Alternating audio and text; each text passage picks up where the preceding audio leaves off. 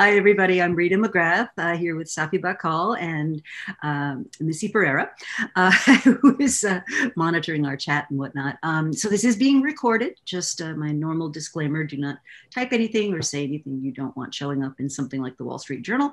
Um, and, we'll go from there. So let me introduce Safi. Uh, Safi is an author of this fantastic book, which is full of little sticky notes and things that I've been reading called Loonshots.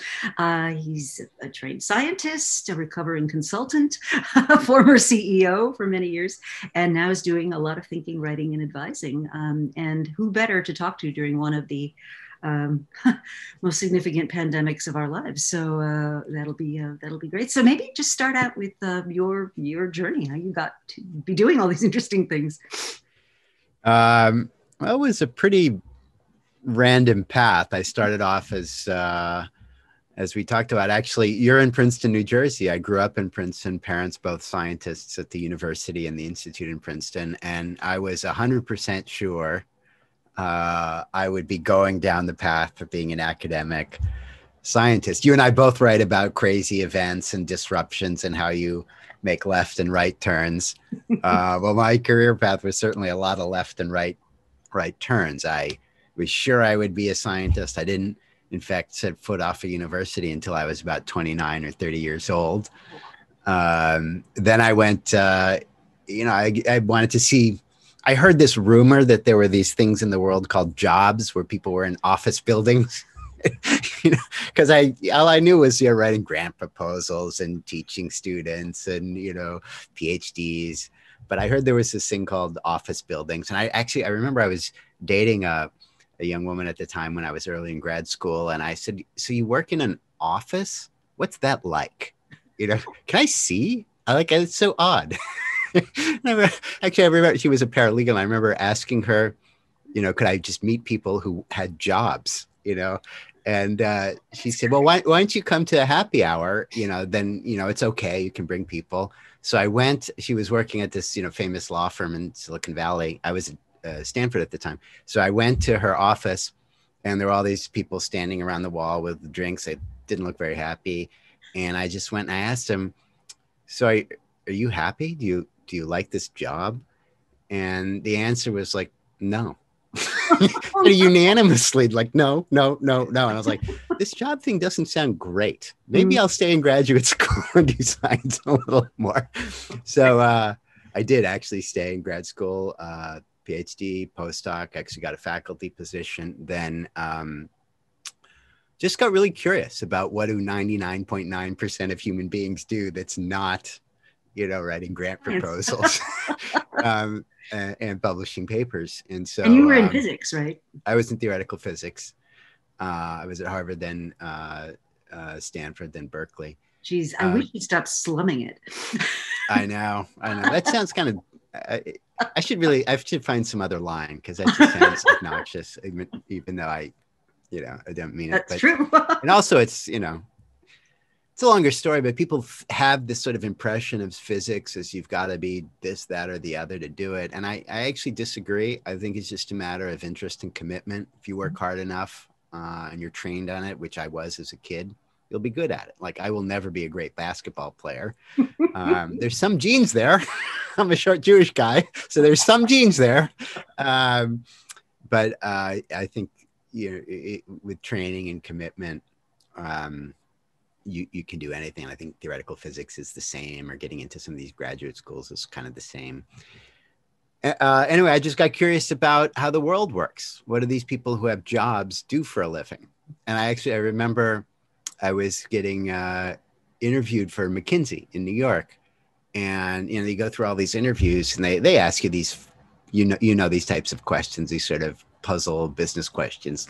Years later, I was the one asking the questions, but in the in the beginning, they ask these questions and then at the end like with many interviews they say do you have any questions for us? And every single one i said yeah could you could you explain to me what you do? I, i'm sorry i just don't get it. And they're like well you know we advise companies and you know solving problems. I'm like yeah i don't get it like why don't they solve their own problems i'm, I'm just not following could you explain it for me and they would crack up you know be like senior mckinsey directors now i knew they were big shots at the time I was like, I'm, I'm not following what you're saying. I just hear words, not computing. Like, could you walk me through? Like, you get up in the morning, you, you take a shower, so you get a car, you drive to an office. This was in the before times when there was an office, right? Right. I was going to say, you know, you were prophetic. We're all back at where we were before. Now we're back at now. Like, you get to the office, you open the door to your office, you put your butt in a chair, and then what happens? Like, I'm not following. Like, what do you actually do during the day? so I, I was just curious, actually. And uh, they all, I guess, found it was funny and fortunately not obnoxious enough to prevent them from hiring me. But that's how I got started. And then found that, it, you know, McKinsey was like a sort of like a halfway house between you know the the academic world and the real world. Before they let loose these crazy academics on the real world they need to make sure you're okay and can speak to people without drooling and you know. And your parents were not thrilled with this right? No they uh you know they were you talk uh, about the seven stages of denial. Right they were committed committed scientists and anything outside of science was like a little suspicious you know, it's actually very funny. It's a lot in common with uh, uh, religion. I, somebody told me this joke. I, I think it was a rabbi told me this joke about Judaism. I think it, it, applies to every religion. He says, you know, there's several levels of Judaism. Sort of reform is sort of at the lower, conservative in terms of how rigorous you you adhere to the rules, and uh, Orthodox is very strict. And and what the rabbi said was, at every level, it's always the same the people a little bit higher are just a little crazy, and the people a little bit below, not really Jewish. so at every level, it's like you're at just the right level, and ones you know the ones above. So, um, you know, I think my parents had similar attitude towards academia. Like academia, you're, you're kind of doing the right level of concentration and focus for truth. And if you're in the business world, it's not really. You know, maybe you're solving problems, but it's not really you know, and then there are the crazies in academics, like the pure mathematicians, you know, no connection to the real world. so, uh, but yes, no, when I, I uh, came out to them that I might be exploring something outside the faith, uh, it was, it was uh, a tragic, tragic moment. It was actually very funny. It was a scene in Princeton. Speaking of Princeton, we were um, at some, um, some event space in Princeton. I forget for a, a, a, a wedding uh, the, a pre-wedding event for some family friends. The daughter was getting married, and uh, uh, I was back in town from grad school or from wherever, and uh, I was standing just behind my parents, and uh, they were talking to the, the the parents of the, the the daughter that was getting married, and they I don't think they knew that I was just I happened to be right behind them talking to somebody else, and there was a lull in my conversation so I could hear what they were saying. And that parents, like most parents, say, "Well, what is your you know son up to?" And they said, "Well, you know, you know," I, and this he had this nice academic career going, and they said, um, my parents said, "Oh yeah, he's doing great. You know, he got this faculty position, and he's pursuing." I'm like.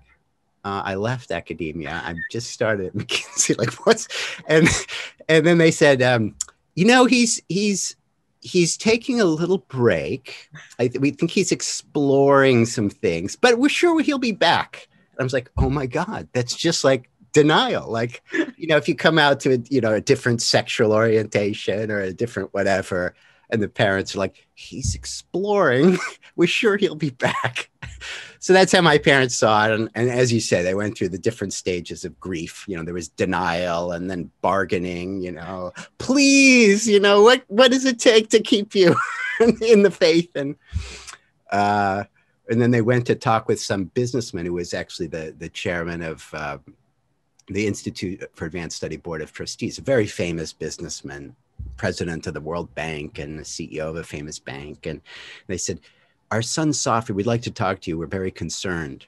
And he said, Yes.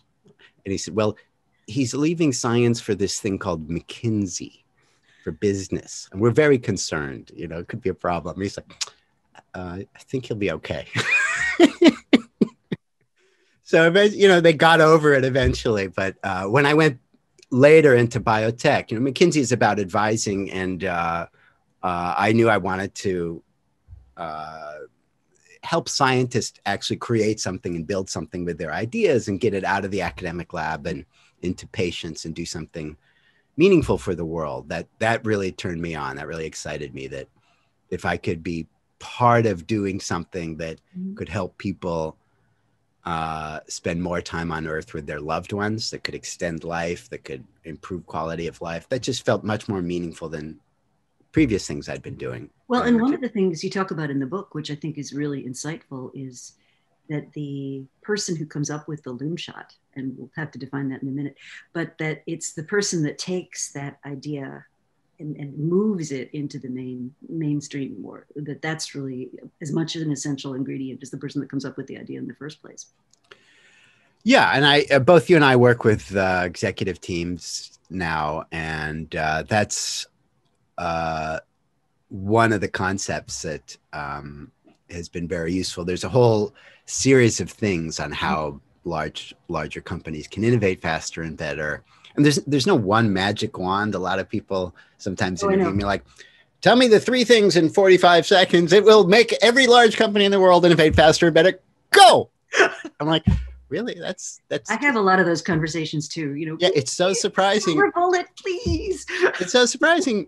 It's not a magic wand in 45 seconds. There's actually a lot of hard work and steps and processes, and it, you know, there are things that you can do uh, you know, your book, Seeing Around Corners, an example about understand when an inflection point is coming and how to think about it, which is great. And my book is on, you know, how do you operationally in practice nurture those loon shots without dropping the ball on the franchise and the core and yeah, what are that. some things in in practice that matter where do companies typically go wrong and uh, just yesterday actually I, a lot of the last couple of years i've been spending with um, we could talk more about that later.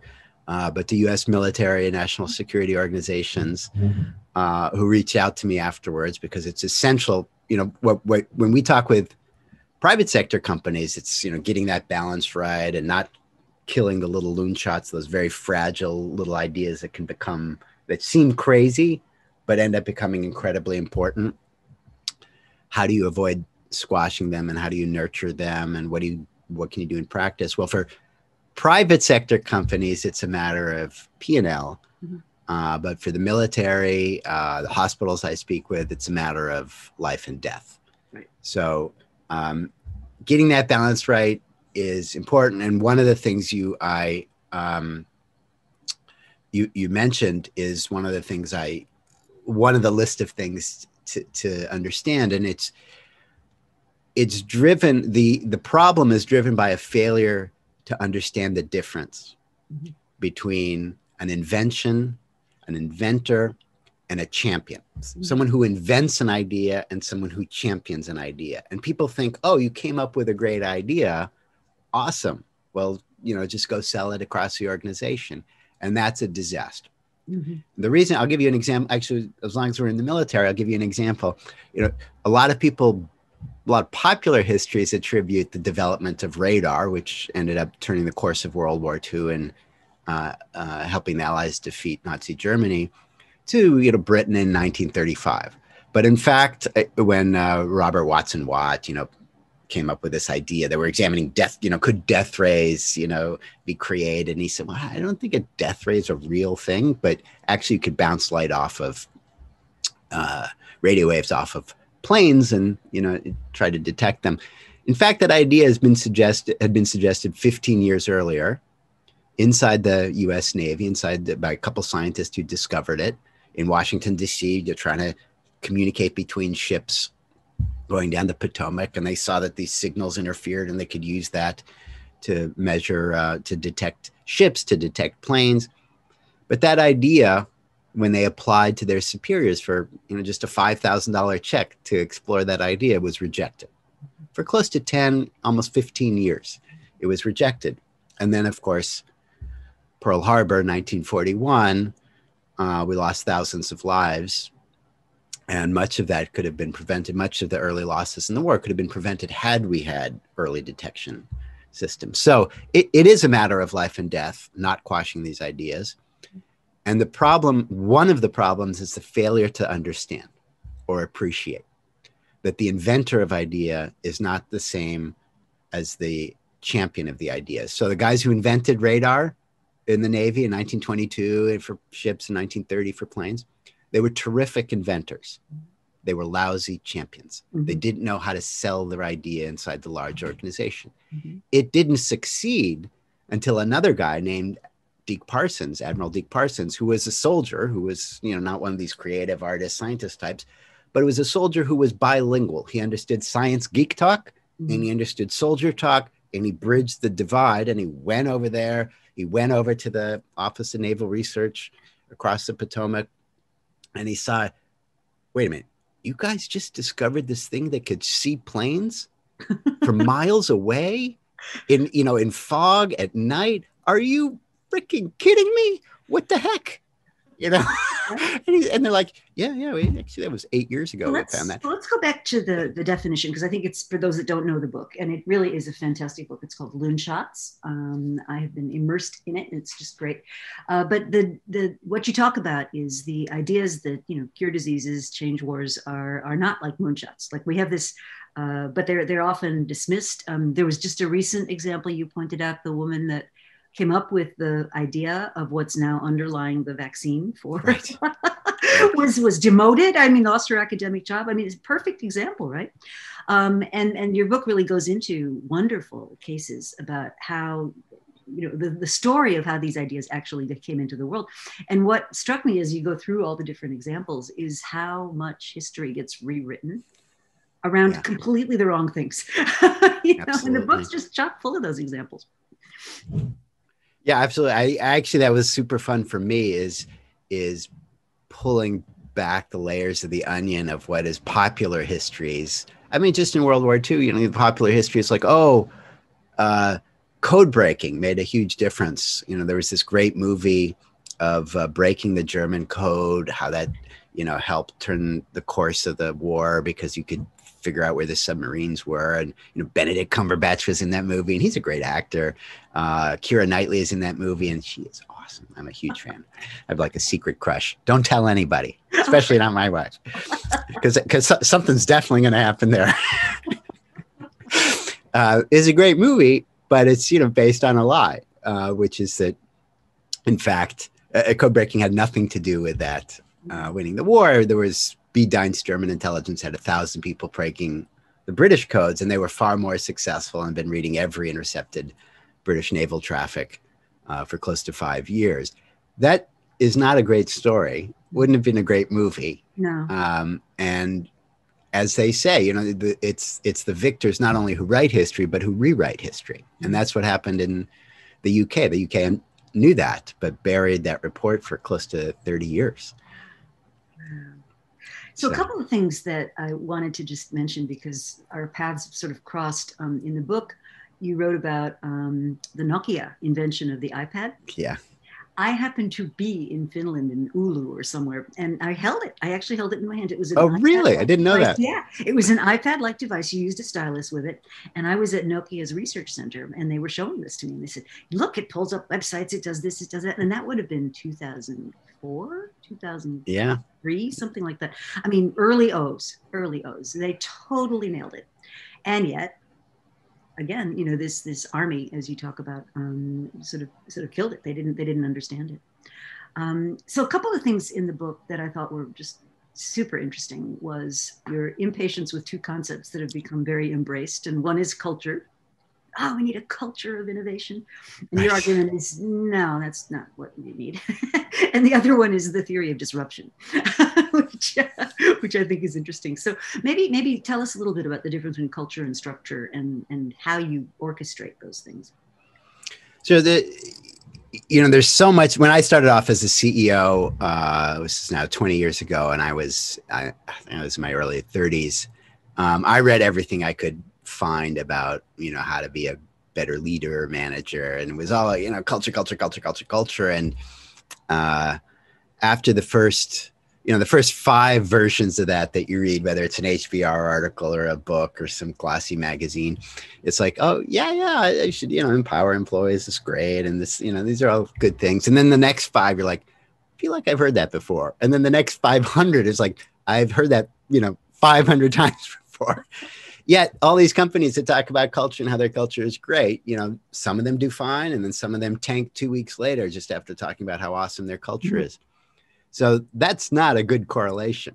Mm-hmm. And uh, you know, the the problem I have with sort of survey studies that are based on that is it's it's very easy, as you know, if you work in drug discovery or in science, very easy to find correlations. I think one of my favorite one is um, the number of Nicolas Cage movies and the number of drowning accidents per year is perfectly correlated over the last 20 years.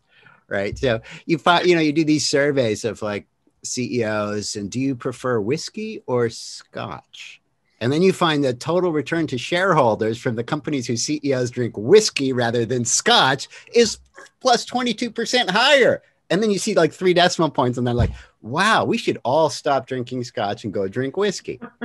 But of course, if you do 10 of those, you'll always find something. So those, those I found very kind of silly and a bit dissatisfying, unsatisfying as a scientist. Uh, who has seen a lot of that kind of silliness. By the way, I love that you tried to prepare for your role as CEO by doing research. I think that's wonderful. um, well, I tell you what was the single most. I'll, I'll come back to that. Um, the uh, in reality, it is the case that there are some patterns of, and I, am not, well, let, let me explain what I mean by culture versus structure. And what I, uh,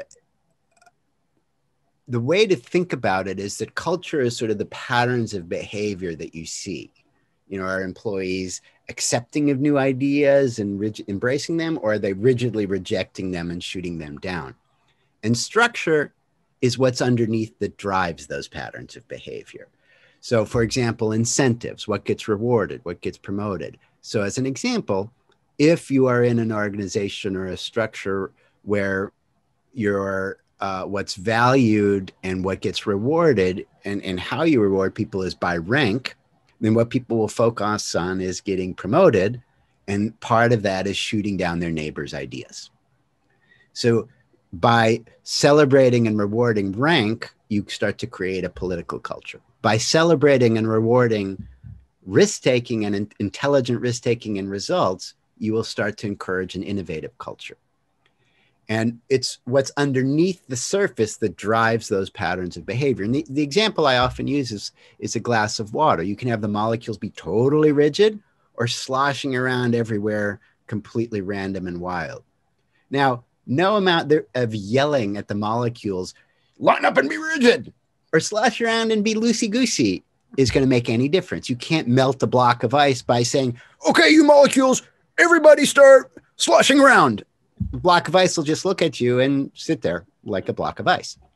However, if you change the temperature, a small change in temperature will melt the ice completely. So that's what I'm talking about structure. It's the equivalent to those small changes in temperature.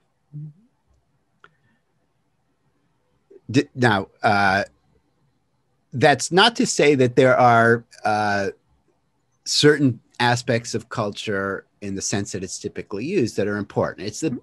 both matter, but people just focus so much on this one that they neglect this one. Right. For example, it is probably not a good idea to have weekly floggings every Tuesday morning where you bring out some employees to the cafeteria and just publicly flog them. I don't think that's a good aspect of culture. Just saying. it probably is a good idea to celebrate victories as a person who was a public CEO for 14 or 13 years or whatever. Those are some just general tips. So the point is that it's not that culture is absurd and you should never think about it zero. It's that so much of the business literature and the advice that CEOs or leaders get is just like be not be do this or do that and if it goes against the structure you've created, against what your incentives are, against how you've organized, against your uh, ways of communicating, it'll never work. Which is why so often people say, just as an example, it, you know, one of the things that you and I talk about, Alex Osterwalder talks about, is how do you balance the sort of artist and soldiers, the creative energy, exploring the crazy new ideas that you want to fail and want to take risk, and the soldiers who you're asking them to reduce risk on time, on budget, on spec, consistently with quality to customers. Those are two opposite goals.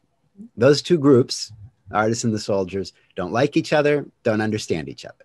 The group making the money rarely likes the group spending the money, and vice versa. That's true everywhere public sector, private sector, some homes. Just saying. Just saying. I don't want to go too far with that one. but they, they don't understand each other. They don't like each other, and they, they come from different backgrounds. You know, you're a, a you're a coder, you're a biologist, you're a chemist, you're a coffee machine designer. You value originality, beauty. How is my thing different from everybody else's? Isn't that cool? I want to win an award, a Clio, or whatever. And the soldier's like, here's my metrics. You know, here's my excitement is from improving my metric, going from 98% to 99% to 99.9%, and so on. Totally different values, totally different things they care. If they go out for beer together, they're not going to like enjoy each other. So, part of your job as a manager or leader is to bridge that divide. And that's where actually a lot of leaders go wrong. It's like it's to erase that divide. Everybody sing kumbaya and love each other. No, it's the exact opposite. Mm. Hmm. Okay. If you try to get everybody to behave the same, you want the ice to be like water and the water to be like ice, you just get slush. You get nothing. You don't get good at either one of them. I, I think of the artist as I think of it as a beautiful baby problem. The artist has their new idea and they see it as this beautiful baby full of potential. And the soldier sees a shriveled up raisin covered in vomit and poop. Beautiful baby, vomit and poop. Right. And you actually you want that conflict right? If your artist who's coming up and exploring the new crazy ideas isn't excited about them, well, you kind of have a bigger problem. Why are they not excited about it? And are they going to succeed in, in really getting other people excited? On the other hand, if your soldier is overblown by the originality and the freshness and the newness of it and isn't carefully assessing it for what are the flaws we need to mitigate and what are the risks and how do we dial those down, you have a big problem with your soldiers you need both and you need them both equally. You know, if you have a sales guy, a soldier who knocks on a customer's door and says, Here's your toaster, and the customer said, Toaster, I ordered a television. You, are not going to have a lot of revenue left. Right. At the same time, if you don't have these artists exploring lots of crazy new ideas, mm-hmm. you know, then, you know, failing a lot, well, the competitor who is failing a lot, who fails nine times and finds that 10th thing behind the nine failures, you will find out about that too late when it's a bullet to your head. So you need both. And the different mindset is that is is about your job as a manager is not to make them the same, is not to make them love each other. You want that conflict. You want to lean into that conflict. And your job is to bridge that divide. When there's all that friction that happens going between A and B and between B and A, your job is to ease that friction, not make it disappear, it's inevitable, mm-hmm.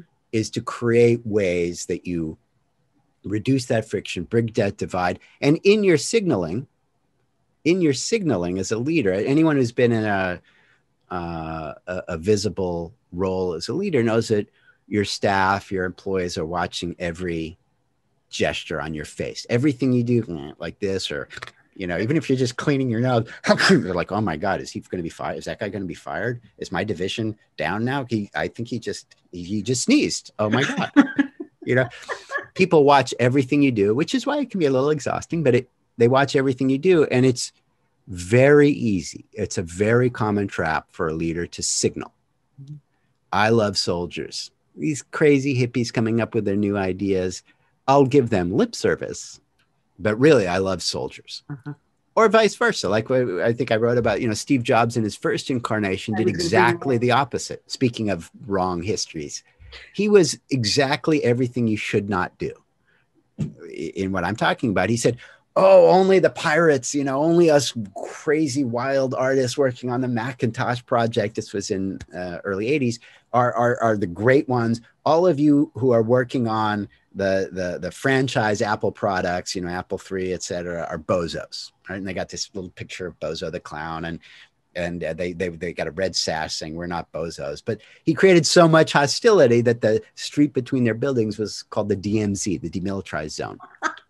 And it, it, wasn't a good thing. It was the exact opposite. It was a complete disaster. When the Macintosh came out, it was a total flop. It was overpriced. It over it, it overheated, underpowered, and sales went down and Apple was headed for bankruptcy.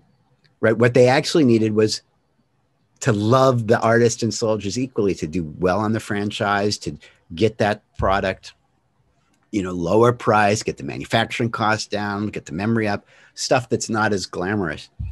And uh, so that was a disaster. And Apple was rapidly headed for bankruptcy. I, at bankruptcy, I just talked with John Sculley, actually, who came yeah. in and and uh, saved the day. And again, a wrong history, like, oh, he did this. Actually, no, Apple was headed for bankruptcy because it was such a disaster, in part because of this failure to understand and failure to appreciate your artists and soldiers equally. And he came in and kind of turned that ship around and got it back on mm-hmm. track those first few years. Other things, there were other problems later, but certainly mm-hmm. saved the day in those first few years. Mm-hmm. So, yes, part of that is you have to uh, love your artists and soldiers equally. Be very careful about your signaling. And part of that is this, and a big part of that is the structure that you create. You can't be measuring this artist on the same stuff you're measuring the soldiers, and vice versa. You can't go to your engineers, your scientists, and say, I think you had uh, 4.2 ideas on Monday, 4.4 ideas on Tuesday. It's Wednesday at 3 p.m. I'm only seeing you at 3.2 ideas. We really need to crank up the number of ideas. They'll think you're a moron and they, they will leave the company. and you would be. and they will leave. But that's actually, I'm exaggerating for a little fun, but that's what happens when you don't think about structure and you say we have some measurement systems we have some risk management we have some reward systems and you have the same reward and measurements and incentives for people on both sides yet one side you want to take risk the other side you want to reduce risk. Should you really be should your incentives and structures be the same? Obviously not.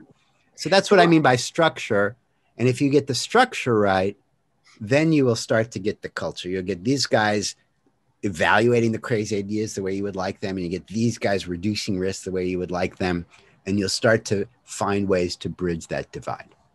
So one of the stories in your book uh, reminded me of an experience i had. So this would have been the early o's you know and i was hired by 3m to come and teach in a thing they called their Accelerated Leadership Development Program.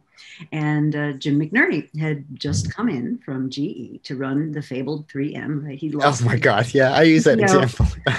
he lost his CEO succession race to uh, to to Jack Welch and had joined 3M, and everybody was like, "Oh, thank God! You know, he's going to bring necessary discipline and he's going to bring Six Sigma into the company."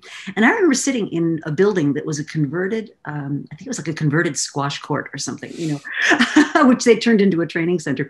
And uh, talking to the R and D guys who were there, and they're like, you know, and everybody's had these name badges, right, with five corporate values behind them, and everybody had the metrics, and we're going to do Six Sigma for innovation. And I sort of looked at them, like, you realize this is not going to work, right? You do know this. of course, the whole innovation engine sputtered to a complete halt. McNerney went off to Boeing, I think, um, and they brought people in who were like back to the you know loving the artists and the soldiers again. And but it was a, a, fascinating example to me because of course you know you cannot move for business school case studies of 3m's you know famous innovation system right? Uh, but yeah. so i was i was definitely in the middle of that. So moving on to some of your more recent thinking um, you've got a couple of wall street journal articles. You talk about vannevar bush with you know immense admiration. And some of the questions in the chat are about you know what do we need right now? Like as a as a country as a nation uh, what do we need to get right? Because um, Bush was an extraordinary person and I think got some extraordinary championing. Um, there was a lot of urgency to what he was doing. Um, and I just wonder if, you know, you've written about maybe replicating something like that today.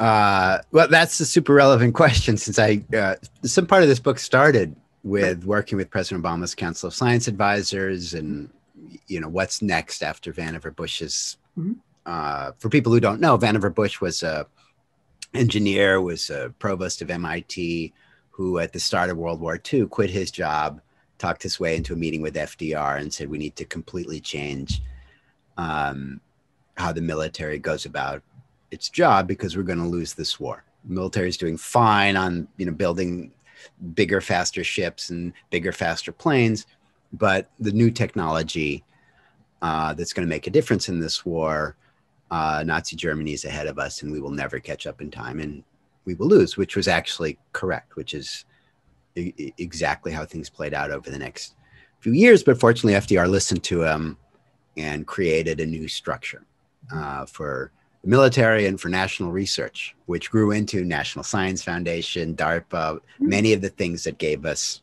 Oh, I didn't know that. Oh. Yeah, the, the system that Bush set up uh, around 1940, the Office of Science, OSRD, mm-hmm. um,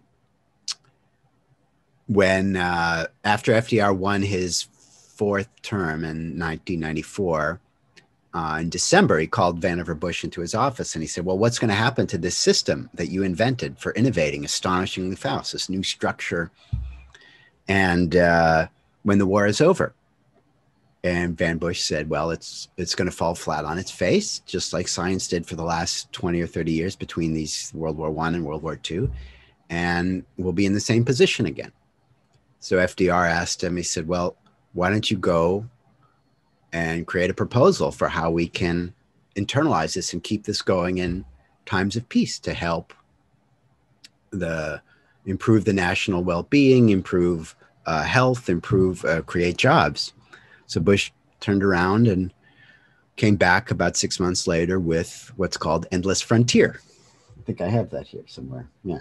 Endless Frontier, his report, in 1945, which laid the foundations for the national research infrastructure of the United States, which was the project I was asked to do for President Obama's Council mm-hmm. of Science Advisors.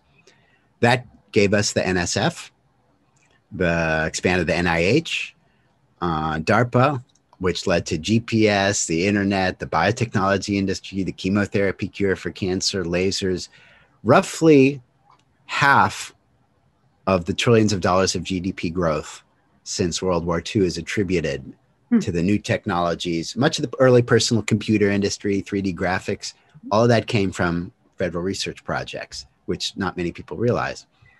And that's why the US has led the world in science and technology ever since for the last 70 years. So that's what Vannevar Bush did. But to your question, that's not going to work anymore. Firstly, other countries, notably China and Russia in particular, have figured that out.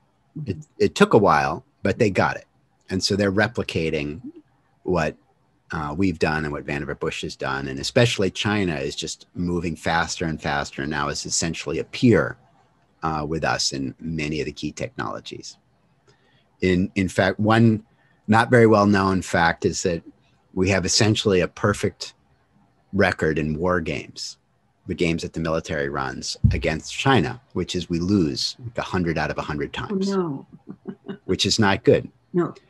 so one of the re- it's it's kind of similar to some of the stuff I'm doing with private sector companies, but essentially we're in a different world today in a very important way that what worked for the last 70 years for organizations won't work for the certainly for the next 70 but probably not even the next 20 and not even the next 10 and that's because the pace of innovation has accelerated uh,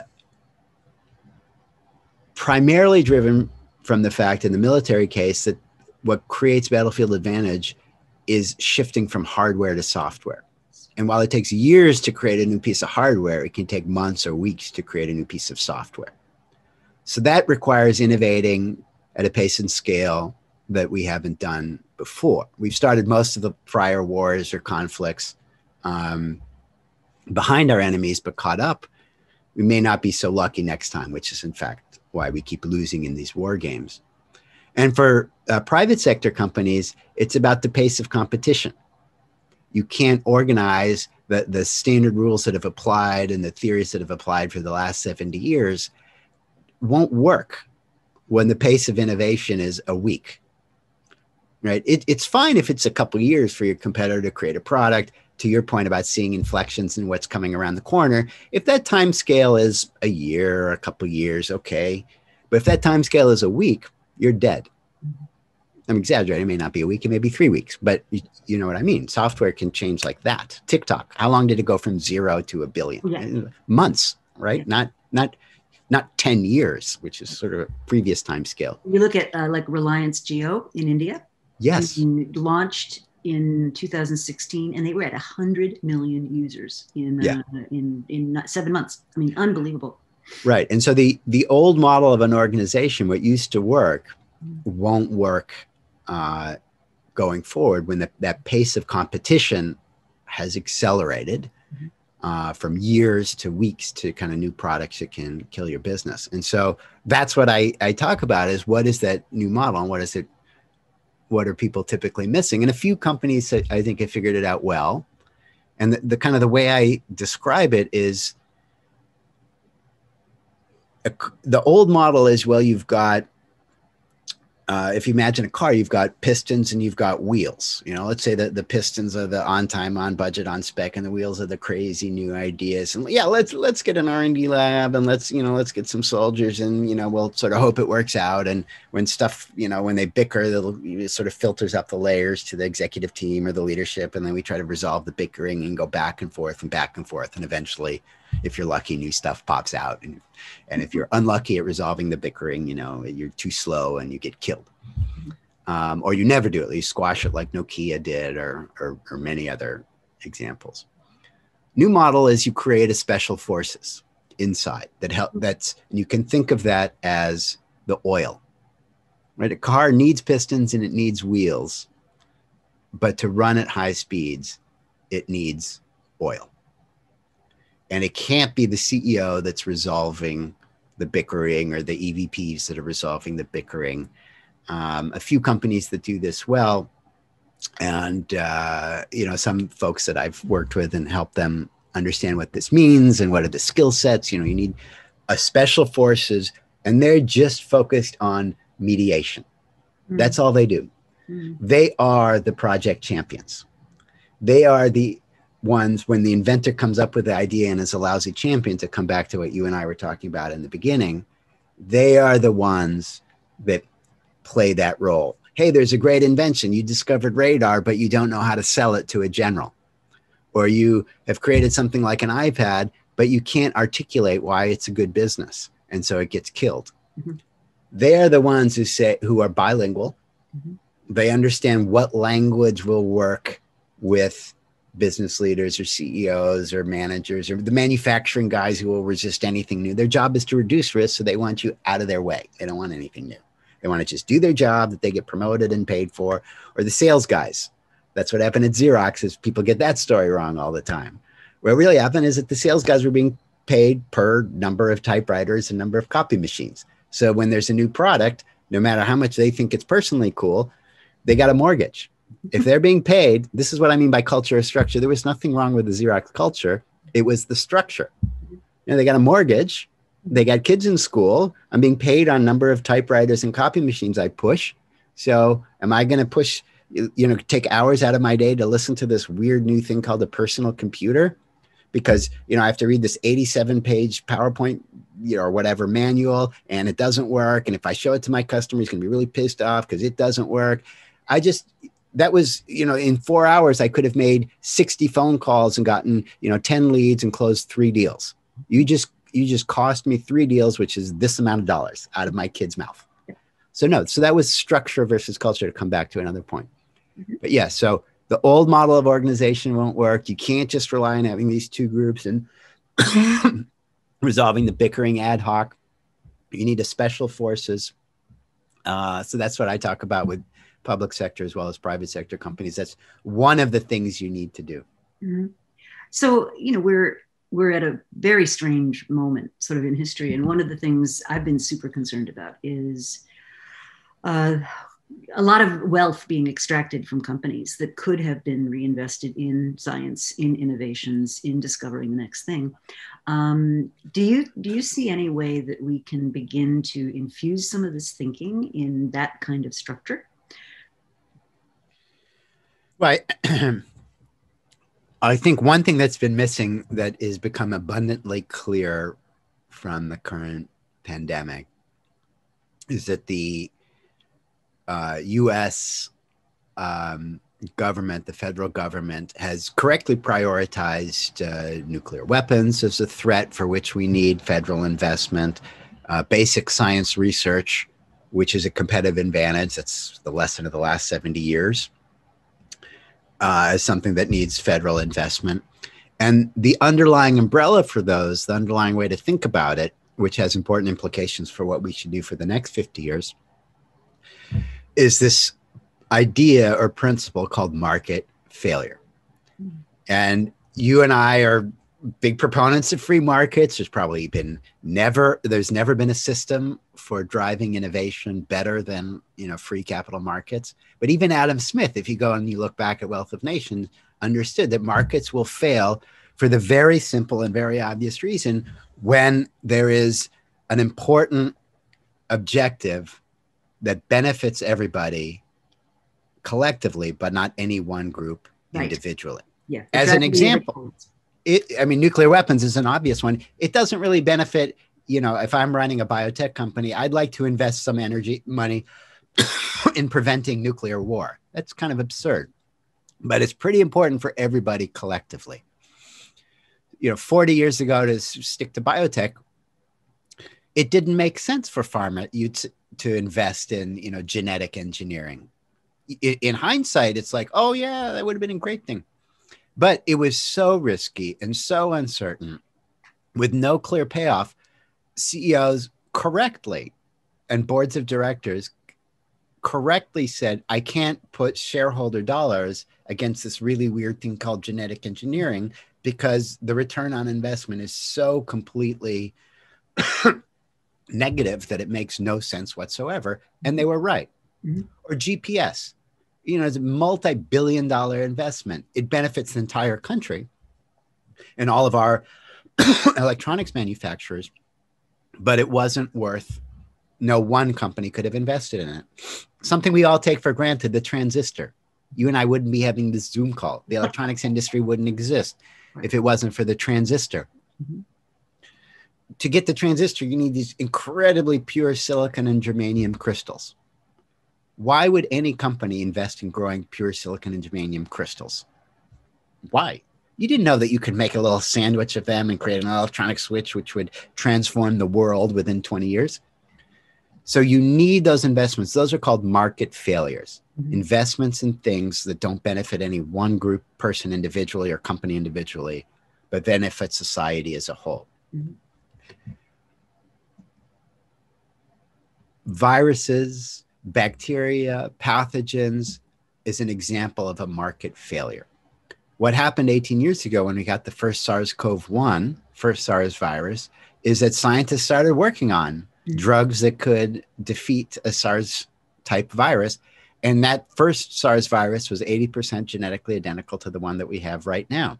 Hmm. Had, they, had there been federal research that had supported that 18 years ago, we wouldn't be in the situation we're in today with trillions of dollars of losses around the world because we would have been investing in continuing the research, which looked promising back then. So, what I hope we take out of this to get to your question is that biological threats are an example, just like nuclear weapon or or highway systems, or or or uh, you know developing a transistor or the biotechnology research.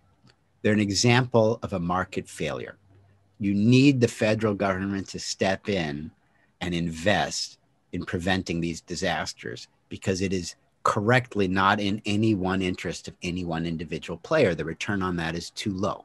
Mm-hmm. So that's what I hope we will take away is that we have a better appreciation for the role of federal government. Now there are, you know, sort of anti-government uh, libertarian types, uh, and while I'm sympathetic to a number of those points of view is about there's a lot of waste in government. It misses the fact that there really is such a thing called the market failure. Mm-hmm. It's called it go back 200 years, 250 years and read Adam Smith who said there are certain things that a free market will not accomplish. Mm-hmm. And those are things that are bad for any one person individually, but good for industries and markets and society as a whole.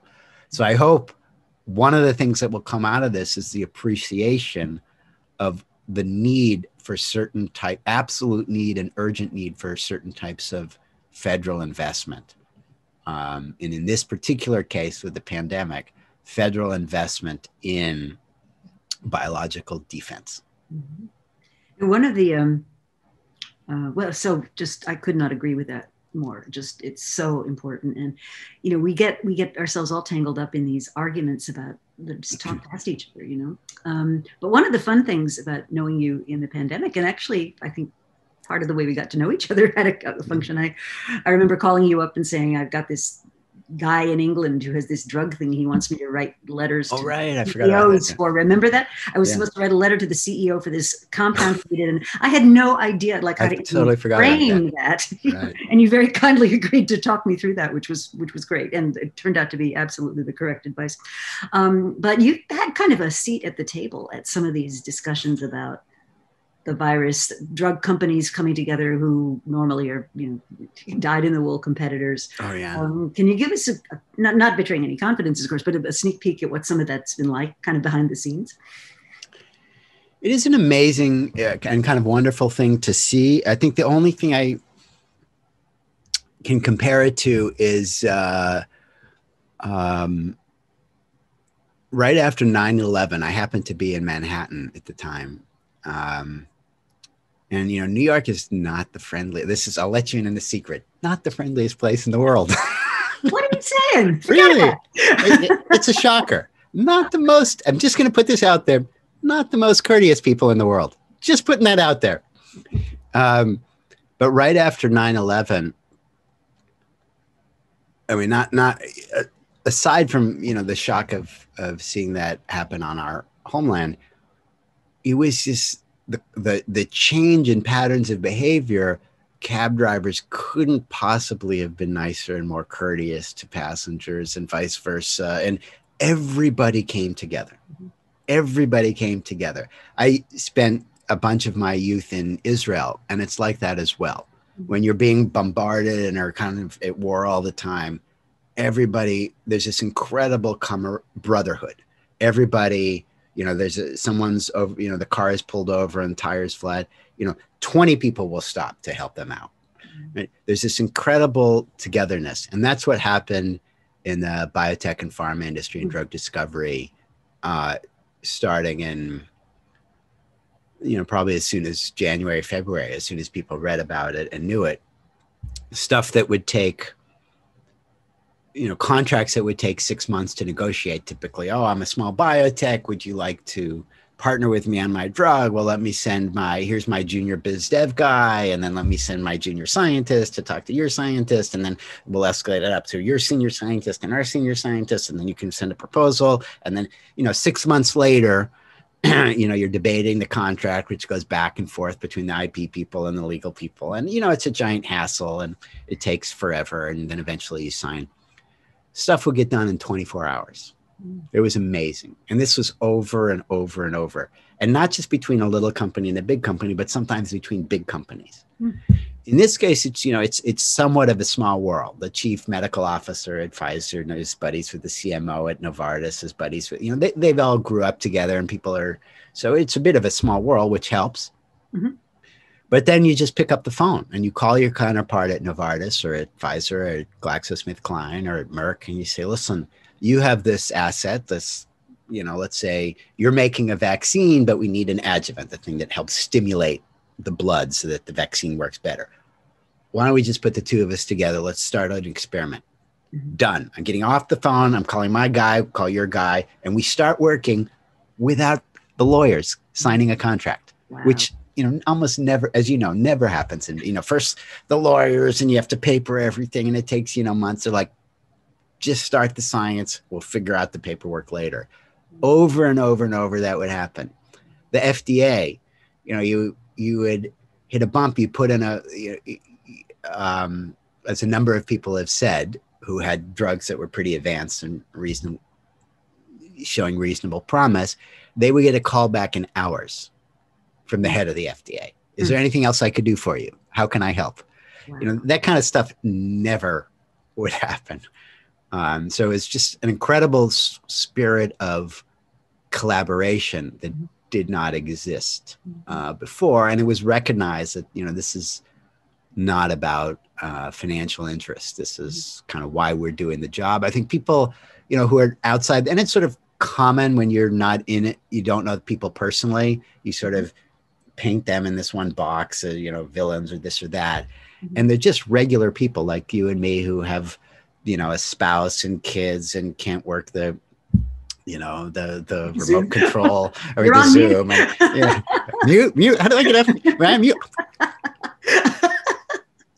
you know they're just regular people and they they're in their jobs because they want to do good mm-hmm. so you, you work in drug discovery because you want to do good you do it's not like silicon valley you know in the, these internet companies where you know if we build this website and get a million clicks next week we'll be billionaires or something mm-hmm. it's like we're one of many of a large team that is needed to get a drug to the finish line but at the end this large team when you do get the drug to the finish line you will feel incredibly satisfied for the rest of your life that you help people live longer. And that, those are the real people. And when this, when COVID happened, this was their moment and they rose to that moment. Mm-hmm. And it was kind of a beautiful thing to see. That is beautiful. That is beautiful. So during the pandemic, right? Um, how have you been keeping yourself busy?